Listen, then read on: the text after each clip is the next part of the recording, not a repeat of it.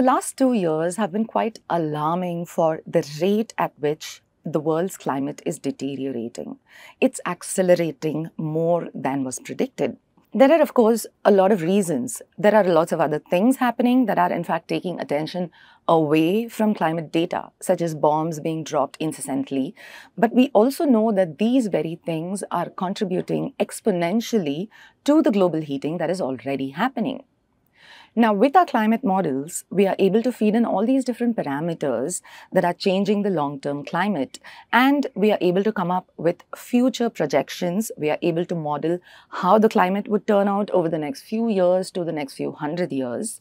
But while we know the reasons, we are still quite far away from understanding our climate processes and their mechanisms so well that we can account for everything and understand completely why things are changing the way they are.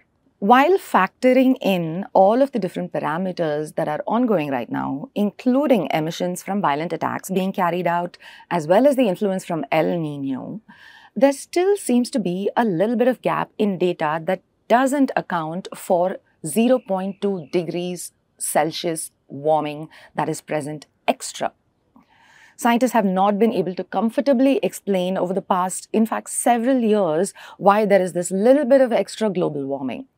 It is a major, major gap. It is well known and it is well identified in climate science. And turns out there could actually be a potential reason that we've already narrowed down. And that, climate scientists say, is the extinction of low altitude clouds. Researchers from many European climate centers came together for this study, running through data going all the way back to 1940 and figuring out what the differences were in the last couple of years, especially when the warming trend seems to have been unexpectedly accelerated.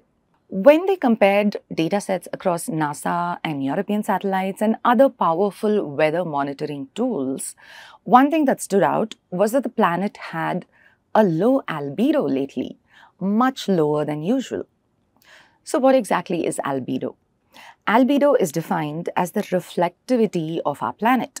As sunlight hits the planet along with its heat and radiation, white colored features and light colored features such as eyes reflect this light and radiation back into space. That is albedo or reflectivity and it protects the earth from warming. We already know that there is a huge loss of ice at both poles, but even factoring in that loss, albedo seems to be reducing a lot more, especially since the 1970s. All calculations indicate that the decrease in albedo due to ice loss points to about 15% of reflectivity loss. But reflectivity has dropped even more than that. Without this extra albedo drop, the mean temperature would still be 0.2, 0.23 degrees lower. Then they found another trend that was appearing across multiple data sets. The decline and drop in the formation and prevalence of low altitude cloud cover, especially over the world's oceans in the past decade. Clouds are also lighter in color and they act as an umbrella over the planet. Clouds at all heights and altitudes reflect solar radiation back to space. However, there is a major difference between low-lying clouds and high-altitude clouds. The clouds at high altitudes sometimes act as a reverse umbrella and they end up keeping and trapping all the heat and radiation that was emitted from the Earth's surface within the atmosphere, preventing it from leaving the Earth system. This doesn't happen with lower clouds, which allows the heat to dissipate away much more rapidly. And what seems to be happening is that the clouds that are closest to the surface are disappearing rapidly, they're forming less, while high and mid altitude clouds are seeing a much smaller decline in their formation rates. But why is this so? Why are clouds closer to the ground disappearing? First, of course, is a natural expected rapid climb in atmospheric heating more and more and more heat over landmass prevents a lot of cloud from forming in very specific feedback systems. Low clouds interact with surface and oceanic heat. A feedback loop forms and prevents accumulation of condensation nuclei, preventing organization and formation of more clouds even when there is humidity. Keep in mind that, of course, we still don't fully understand how clouds organize, how different cloud system feedbacks work, and how the different shapes and types and heights of clouds cause micro changes. Warming does lead to more humidity and more cloud formation, but if the clouds are forming at much higher altitudes, it's not really helping our case right here. And then there are anthropogenic emission aerosols. Human emitted aerosols contribute to cloud feedback and formation. Specifically, aerosols that are emitted by ships over the Atlantic and Pacific Oceans contribute to cloud formation. And this began to be talked about quite a bit during the first year of the pandemic when the entire world went into lockdown and all of global shipping shut down. Many marine fuel aerosols are mainly sulfur compounds and they are lighter in color.